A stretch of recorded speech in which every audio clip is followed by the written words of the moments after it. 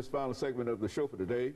We're talking to Dr. Leonard Madu, and he has given us some information over the first two segments dealing with mining companies and environmental pollution in Africa. And it appears from what he has said is that the only entity that tends to uh, suffer in this kind of situation are the people. Uh, well, Dr. Madu, let's uh, continue to uh, talk about some of the problems that, uh, uh, that all of this pollution is having on the population itself. Yeah. And like I was saying before, they come in, they find oil here, they pitch their tent and start mining without due consideration to the environment. Like I was saying, in this country, large areas of Alaska are off limits for, for drilling, you know, mm -hmm, because people say, no, you can't drill there because a lot of important birds and animals and all this are there. Why? In Africa, no, they won't think like that. Those oil companies would demolish houses without Wherever they find oil, they, they drill. Oil, they drill, mm -hmm. and the people who own the land and who own the houses are not paid adequately. Now they will say, oh yeah, we pay compensation. But there's a big difference legally between paying compensation and paying adequate compensation. Mm -hmm. Yeah, if my house is worth a million dollars and you demolish it and pay me 50,000, it's not adequate compensation. Mm -hmm. Yes, and when the people speak up, oh, they send soldiers to to, to, you know, to drive them away or get arrested or you might even be killed. Mm -hmm. okay? So it's not regulated the way it's regulated here. Mm -hmm. And that's what most people in Africa want to see.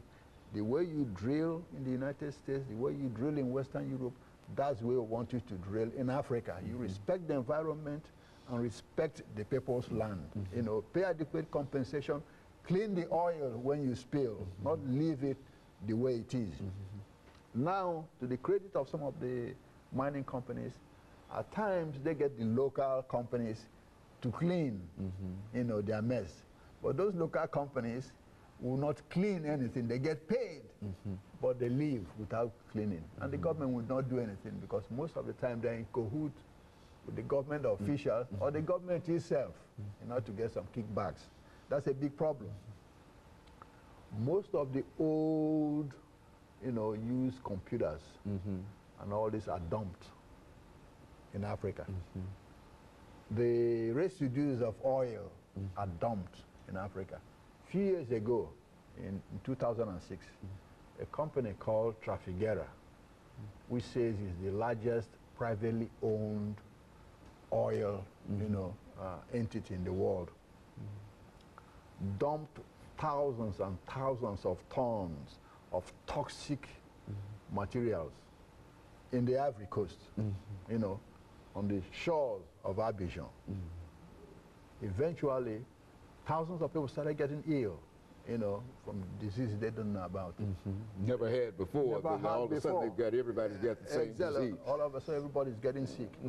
the people started complaining, the company shut its ear, and eventually it got sued and all that, and they agreed to pay compensation to over 31,000 people mm -hmm. who got sick because of it. Mm -hmm. Why did they allow them to dump it there? Mm -hmm. No, because some government officials turned their mm-hmm. eyes elsewhere, got their own money in their pocket, mm-hmm. and let them dump and kill their people. Mm-hmm. Okay? In Zambia, even now, in Kabwe, a place they call Kabwe, people are getting sick because the water they are using to take a bath, the water they are drinking is contaminated by lead. And copper. Okay? And nothing's done about it. Mm. Now the Chinese who are coming into Africa, mm. that's another problem. Everybody's saying, oh, Chinese are in Africa now, they're doing so well here and there. They happen to be the worst polluters now in Africa. A lot of places where they, they are mining and all this, Africans are treated like dogs, mm -hmm. okay? Worse than mm -hmm. other, other, other, other, you know, countries who have come to Africa to, mm -hmm. to do business. Yeah, they don't care about the environment. Mm -hmm. They dump things anywhere and abuse their, their, their, their employers. Now, having said that, what do we expect from the African governments? Mm -hmm. People expect them to hold these companies, mm -hmm. these mining companies, accountable mm -hmm. for their actions. Okay? These are their people. But what has been obtaining in the past 50 to 60 years is that these companies are what? Laws unto mm. themselves. Mm -hmm. At times, these companies really control the government, government of those countries. uh -huh. The influence okay. of money and wealth. Exactly. Yeah.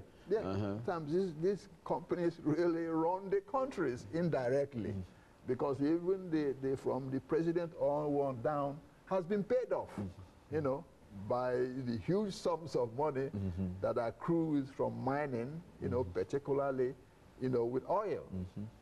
So they turn their face somewhere else while these, you know, companies are busy looting.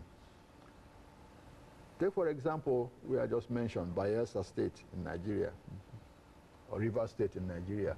In fact, their, their gross, you know, domestic product, or their monthly income really, mm-hmm. is higher than almost half of the other African, African countries. This is just mm-hmm. few states mm-hmm. in, in where the oil comes from. But what do those governments do with the money? Nothing but Put it in their pockets Put- and real, so nothing for the people. Exactly, put it in their pockets and, and then disappear. One of the former governors now named, named uh, Alamieyeseigha, yeah, he was arrested in London where he had, you know, hundreds of millions of dollars in the bank. He ran away. And that one called James Ibori, he was the governor of oil-rich, you know, Delta State. Mm. He's still in, in London now in jail for stealing, you know, hundreds of millions of dollars, mm-hmm. You know, for himself. There was no end to their greed. Is that There's- what, I there's- mean, there's, there's- no, there's no- appropriate kind of stealing that they do. They wanted, they wanted all. Is that Every, exactly. Uh-huh. They- yeah, not nothing. It's just not take a dollar and leave the mm-hmm. rest for the mm-hmm. people. No, it's clean everything mm-hmm. and let every, everybody else be poor, and you are the only king in, in there. That's part of the problem. And even people in Africa and Nigeria understand that, that if the, if the politicians are not in cahoot with these mining companies, they cannot get away with what they are doing. You see? So whenever they come in and they are they in cahoot with the government, then they are empowered to keep, you know, polluting and not being accountable. You know, you, I, I mentioned uh, Patrice Lumumba when we started here. That's part of what why he died, because the Union Minière de Haute de Katanga, the northern miner, you know, mineral company of northern Katanga from Belgium, owned the rights to the copper mines in Katanga, which is called Shaba now. Mm-hmm. And now obviously Lumumba was going to nationalize, mm-hmm. you know, the copper, copper mm-hmm. mines and all that. So they knew that, and the only way to deal with it is to get rid of him early, so that they could keep, you know, the, the, the, the, the right to mine and pollute and do whatever they want.